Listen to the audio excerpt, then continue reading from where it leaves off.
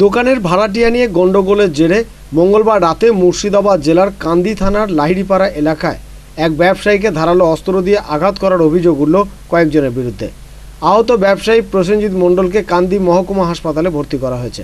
জানা গেছে, কান্দি বাসস্ট্যান্ডে প্রসেনজিৎ মণ্ডলের একটি মুদিখানা দোকান আছে।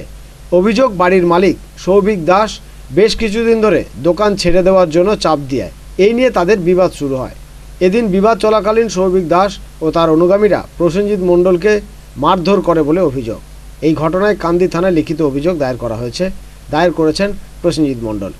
ডাক্তার দাস আমার ভাই। আমাকে বাঁচাবো কে মেরেছে? কে মেরেছে আপনাকে? কি কারণে? আমাকে ওই চন্দন চন্দন দাসের সঙ্গে আমার ঘরেরই ঝামেলা চলছিল।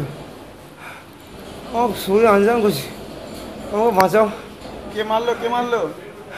আমাকে পাক মারছিল আমি দোকান বন্ধ করার পর থেকে ওই সৌভিক রখায় আমাকে পাক মারছিল এ কি দিয়ে চোট মেরেছে?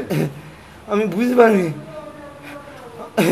আমার গাড়িটাকে ওই নুপুর সিংহের বাড়ির ওখানে ভেঙেছিল আমাকে দাঁড় করিয়েছিল দিয়ে আমি ট্রেনে বেরিয়ে আসছিলাম। দিয়ে আমাকে দিয়ে তারপরে? আমি বেরিয়ে আসছিলাম আমি দিয়ে আমাকে যে কিসকে মারলে আমি বুঝতে পারিনি। কোন জায়গাটা কোন জায়গাটা হয়েছে? আমি বেশ কথা বলে না কথা বলে ওরা কজন ছিল ওরা কজন ছিল? তিন চারজনে ছিল। একটা সাদা রঙের টিভিএসের গাড়ি ছিল। ওই ওইটা আমি দেখেছি। ঠিক আছে পুলিশ অভিযোগের ভিত্তিতে তদন্ত শুরু করেছে। দাদা ঘটনাটা কি ঘটেছিল? ঘটনাটা ওই চন্দন উকিলের বাড়িতে এই পতিত পাবন ছেলে পাপায়ের দোকান। এবার ওই দোকান নিয়ে অনেক দিন ধরে ঝামেলা। ও দোকানটা ছেড়ে দেওয়ার জন্য বলে, তাই এ বলে, আমি ভাড়া দিয়ে আছি, ভাড়া দিয়ে, ভাড়া ভাড়া দিয়ে ভাড়া ছাড়ার জন্য বলছিল। যে এ বলছে, ভাড়া দিয়ে আছি এতদিন, তাহলে আমাকে একটা ব্যবস্থা করে দিন, আমি ছেড়ে দেবো।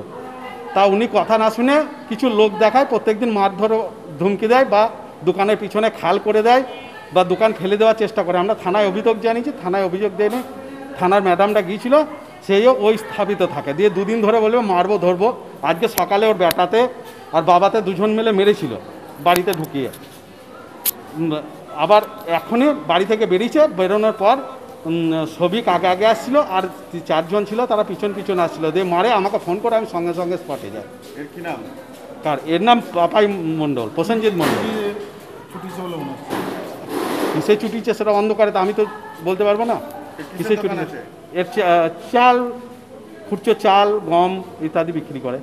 বাস স্ট্যান্ডে? কে কজন ছিল বলছে ওরা? ওরা পাঁচজন চন্দনকুলে বেটাকে নিয়ে পাঁচজন। মুর্শিদাবাদ থেকে অর্ক রায় আনন্দ বার্তা।